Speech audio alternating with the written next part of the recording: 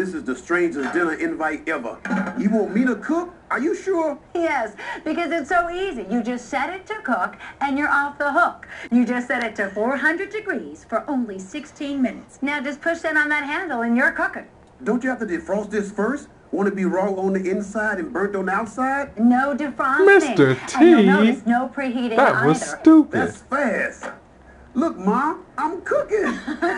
Now watch as our time-lapse camera shows how quickly the flavor wave cooks your frozen steak to perfection in just minutes.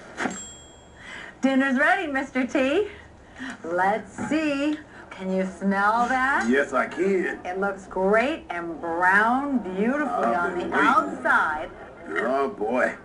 It's perfectly done. Mmm. Mmm. This is delicious. My taste buds is going wild. You're right, darling. It was fast. And all without added fat.